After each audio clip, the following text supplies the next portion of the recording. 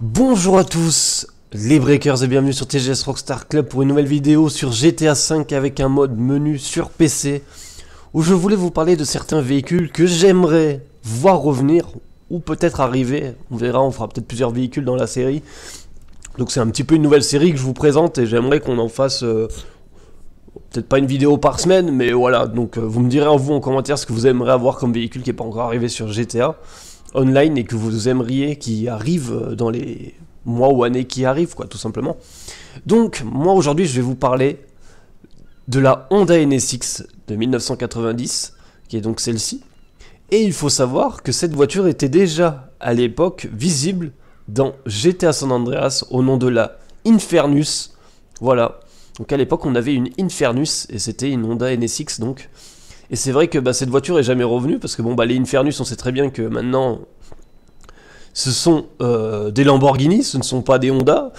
Donc euh, eh ben franchement j'aimerais que cette euh, potentielle Infernus revienne mais sous un autre nom. Donc avec une vue que maintenant on a Honda et Honda c'est Dinka donc ça serait une Dinka quelque chose. Vous voyez un peu comment ça c'était vraiment la même. Hein. Au niveau de la ligne et tout ça, ça ressemblait énormément. Et euh, ouais, franchement, c'est un véhicule que j'aimerais bien voir revenir dans, dans GTA et puis arriver surtout sur GTA Online parce que je trouve que c'est une voiture qui est super classe, quoi, qui est vraiment magnifique. Ensuite, vous avez au fond là-bas une autre voiture et celle-ci, si elle vous intéresse, je vous la présenterai euh, la semaine prochaine. Voilà, donc ça c'était un ancien modèle qui était aussi dans San Andreas.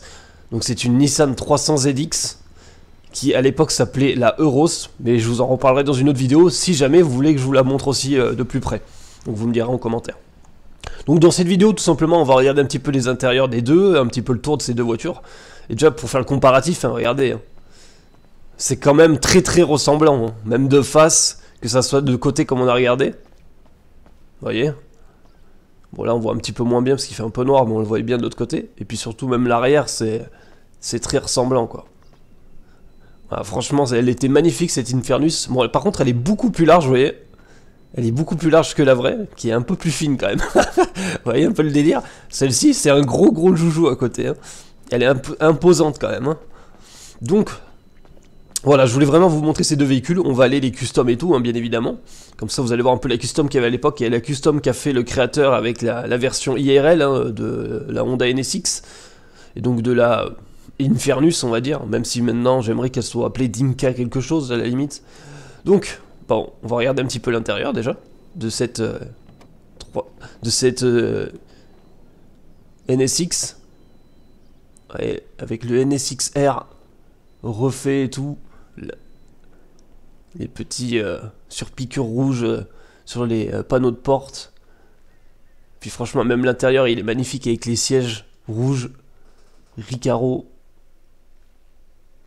non, non, franchement, c'est, franchement, il est super bien modélisé l'intérieur de cette NSX. Ça fait plaisir. Alors, je peux peut-être. Attendez, je peux peut-être tout ouvrir d'ailleurs. Attendez, ce qu'on va faire, c'est que je vais monter. Voilà Voilà, là, c'est mieux. Donc, on avait le coffre à l'arrière. franchement, même ça, c'est super bien réussi. Mais du coup.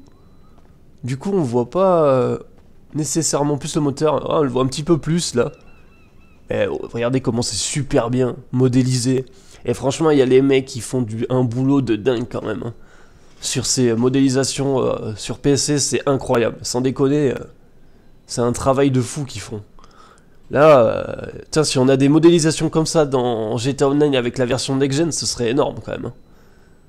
Et même les moteurs, vous voyez, c'est pas des fausses textures, il y a tout qui est vrai dedans. Tout est modélisé de A à Z, même les contours à l'intérieur voyez, tout ce qui est la surface rouge, la carrosserie, c'est tout modélisé, c'est pas des vieilles images collées. C'est incroyable, franchement, c'est magnifique. Voilà, donc on a le côté conducteur. Vous voyez, le joli volant. Sport, les trois pédales en alu. bien sûr, c'était une manuelle. Hein. Et vraiment, c'est l'intérieur de la NSX, quoi. C'est ça qui est ouf, quoi. C'est vraiment le, vrai. Et il est, il est terrible, quoi. Ces sièges, ils sont incroyables aussi. Puis les NSX un peu partout dans la, voiture, c'est vraiment très propre quoi. C'est vraiment un boulot exceptionnel.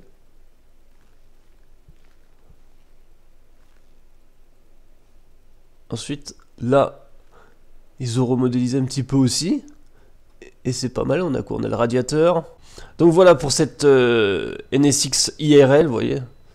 je précise hein, quand même, c'est bien la version IRL, hein, c'est pas une version qui était dans le jeu. Donc vraiment magnifique. Hein. C'est double sortie à l'arrière, ils ont mis des belles paires de jantes aussi d'origine. Ils sont vraiment sympas. Donc maintenant, on va regarder un petit peu la, NSX euh, version euh, Infernus GTA San Andreas. Qui était vraiment, et vous voyez comme elle est large. Elle était vraiment très très large hein, par rapport à... C'est ouf, hein, elle fait quasi pas deux fois, mais au moins une fois et demie euh, la NSX.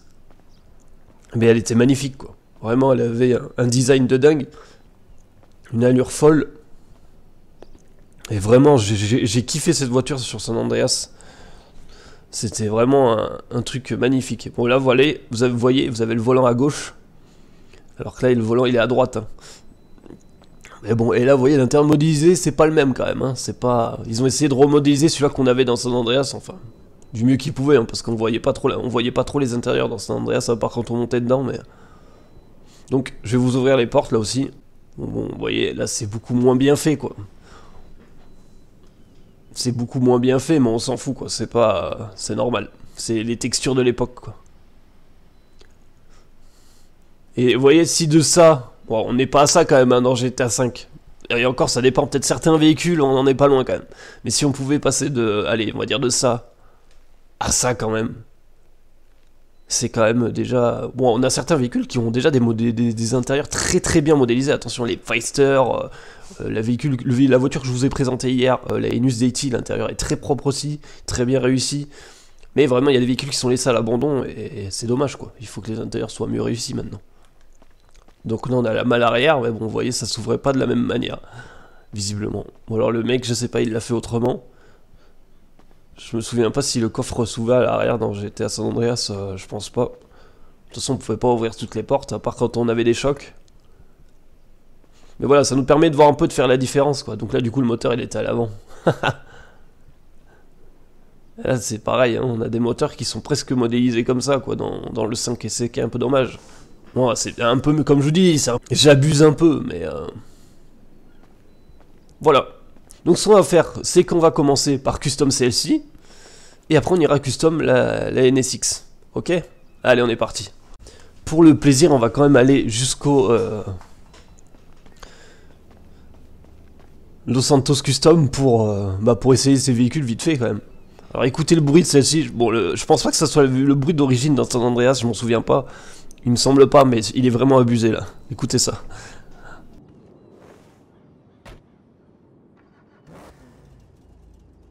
Franchement, il est beau le bruit. Hein.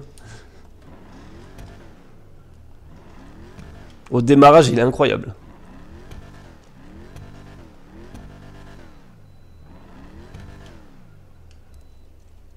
Donc là, on avait les phares comme ça.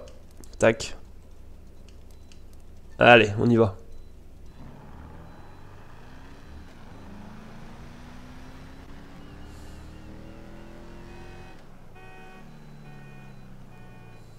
Je vous laisse apprécier un peu le... Le son de la voiture, quoi. Je vais pas trop parler.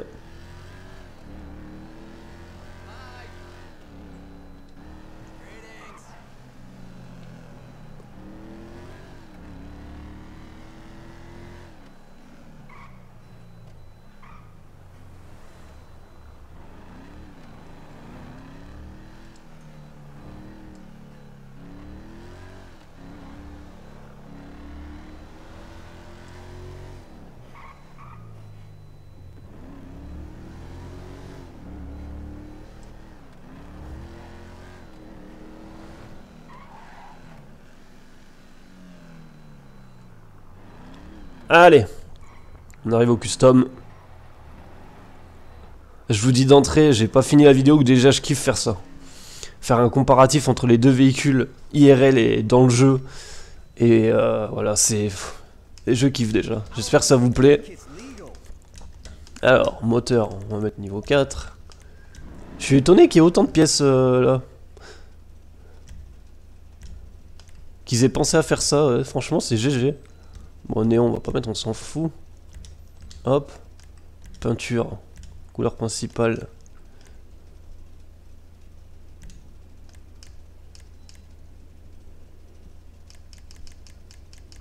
Alors, je sais comment je vais faire l'autre déjà.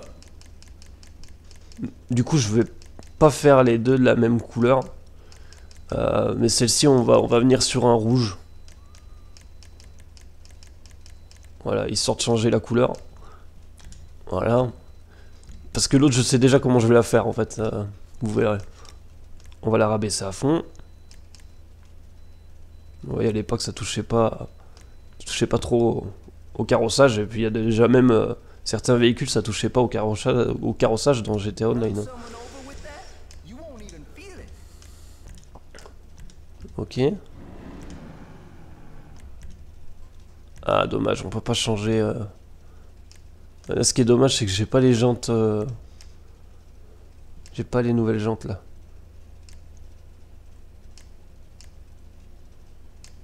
On va essayer de lui remettre le même style. Euh, ça doit être dans Sport qu'il y en a des comme ça. Voilà. le bruit au ralenti, il est incroyable. Ils se sont gavés. Hein.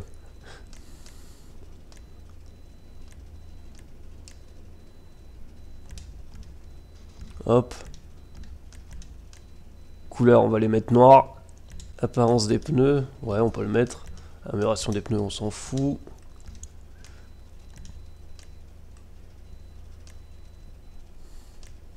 Ouf. Ouais, ok, c'est vachement teinté d'entrée. Bon, on va laisser clair. Même si l'intérieur est pas terrible, mais... Hein. Bon, à la limite, pour que vous voyez un peu ce que ça donnerait, on peut mettre les néons.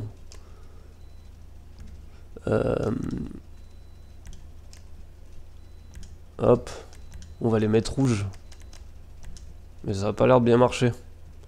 Ou alors la voiture est trop basse, je sais pas, on les, on les voit à peine. Bon, on verra bien. Allez, on sort de là.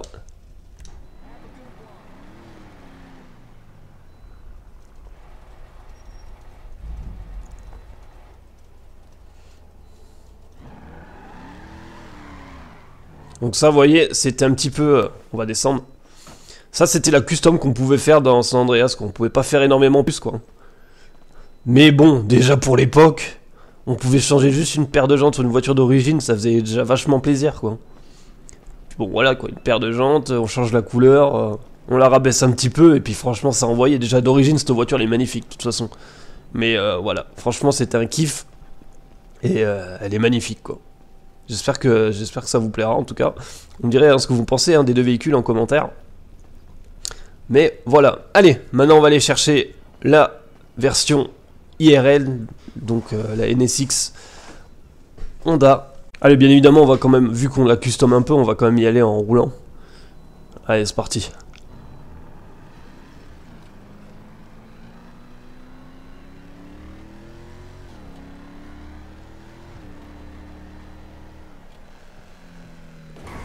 Ouf, on est un peu bas là.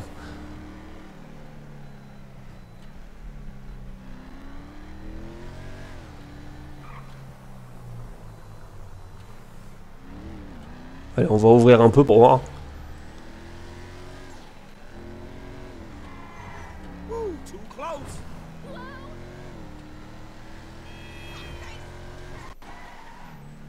C'est pas mal du tout. Hein. Ah, bah la despawn, ça c'est un peu chiant.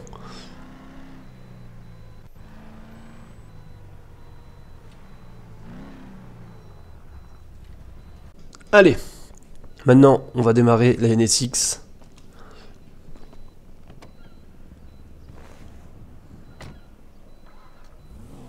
Ah, c'est pas le même bruit quand même. Hein.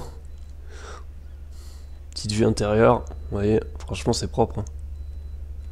Vraiment, c'est magnifique. Magnifique. Super bien réussi.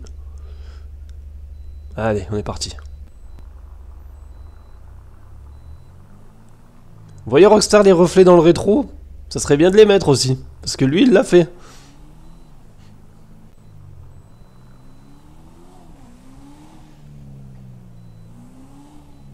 Ah, d'intérieur comme le bruit est sympa.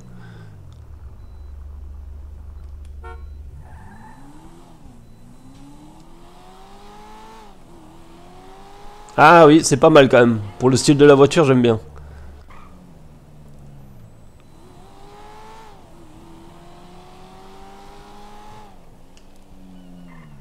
Ah bien évidemment.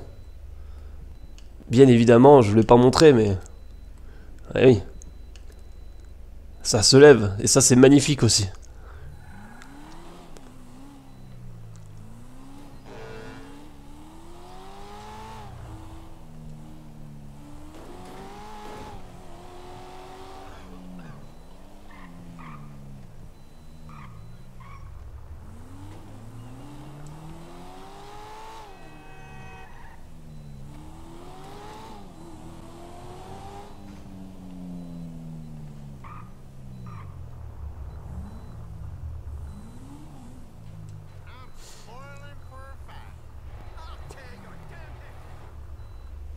Allez, on est parti. On va custom. Par choc avant. Alors.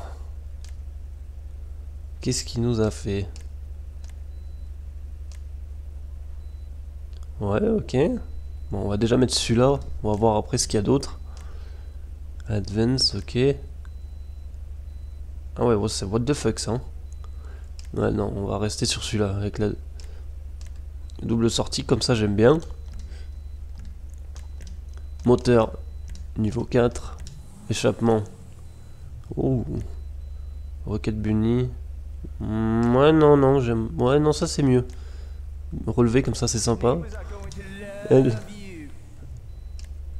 Advance. Ok, ouais, un kit large. Ok. Kit large là aussi. Ouais, celui-là, j'aime pas. J'aime pas trop. En plus, on dirait qu'il manque une partie, c'est pas ouf. Donc, euh, ouais, on va mettre celui-ci à la limite. Capot. Oh, oh celui-là, il est pas mal. Ah oui, il a fait carrément l'avant Rocket Bunny. Euh, oh la vache. Ouais, bon, après, c'est mal foutu parce que c'est collé. Euh, ça fait un peu bizarre. vous voyez un petit peu ce que ça donne à la limite. On va garder celui-là d'origine, mais voilà. Ça, c'est des trucs que Rockstar pourrait faire aussi, parce que c'est des modifications un peu à la bénise. Et peut-être qu'avec le garage de AO, on aura des nouveaux kits larges pour les nouveaux véhicules, ça serait bien, parce que c'est des véhicules d'ailleurs qui vont arriver. Euh, genre euh, la, GR86, c'est clairement des kits larges euh, qui sont souvent sur ces bagnoles, quoi. Allez.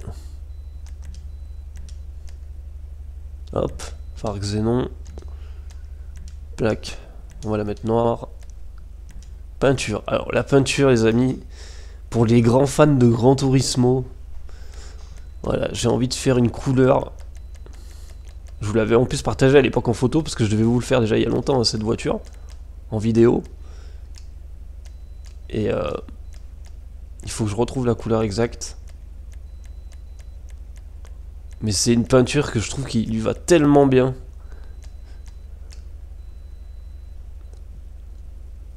Sais plus si c'est le brun Fetzer.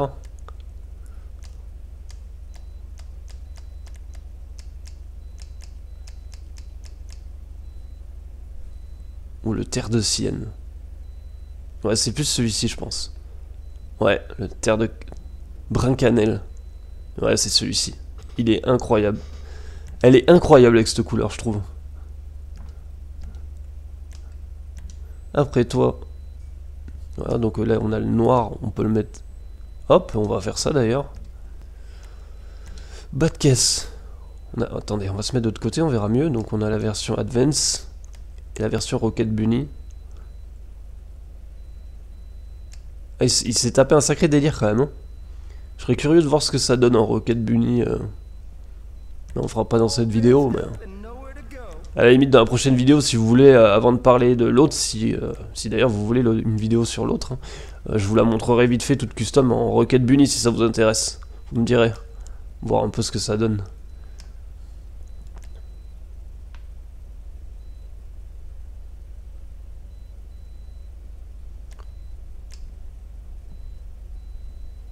Ouais je suis pas très fan. On va la laisser comme ça l'aileron j'aime pas trop Hop, on va la rabaisser en mode sport. Transmission de course. Turbo, hop. Les roues, type de roue. Euh, on va partir sur du sport. Et celle-ci, j'ai envie, j'ai envie de lui mettre celle-ci là. Par contre, j'aimerais qu'il y ait un peu plus de déport à la limite.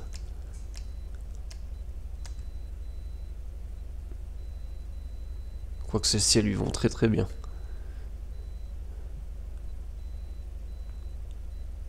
Allez, on va prendre des ground ride.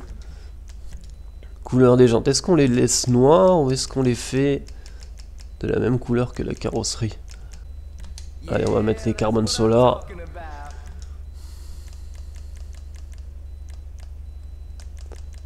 On peut faire un rappel à la couleur de la voiture avec du cuivre sombre. Voilà. Ouais, on va mettre l'apparence des pneus. Ça fera un rappel avec le rouge de Honda et le blanc. Voilà. Bon, ça on s'en fout. vitre... Euh,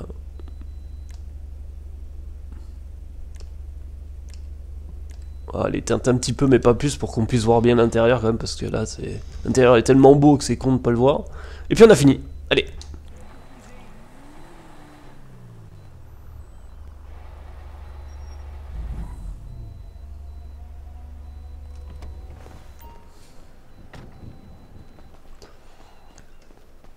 Donc voici la NSX version custom. Donc c'est pas la version Rocket Bunny.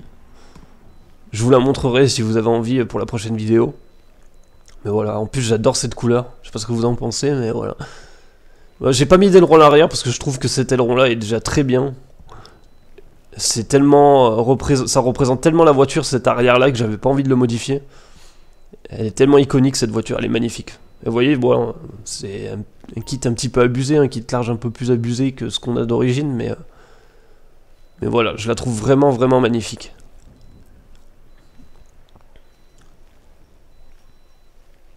Allez, on va la ramener, puis on aura terminé la vidéo. Hein. Ah, je me suis trompé de côté, euh, excuse-moi, poteau. Ouais, allez. Ah, puis ça, franchement, S'ils la, fait, la font revenir et qu'ils font les phares qui se lèvent comme ça, ce serait une tuerie parce que c'est ça c'est extrêmement emblématique aussi de la voiture. Hein. Regardez-moi comme elle est magnifique. Regardez-moi ça quoi. C'est tellement charismatique, incroyable.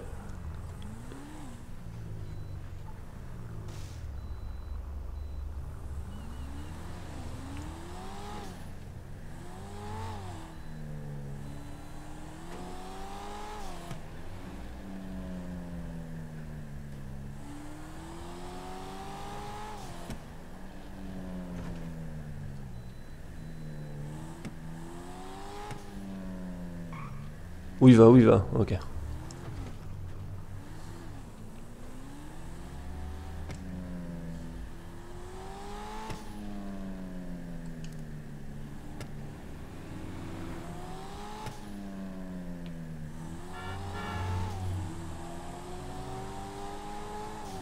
That's dumb luck right there.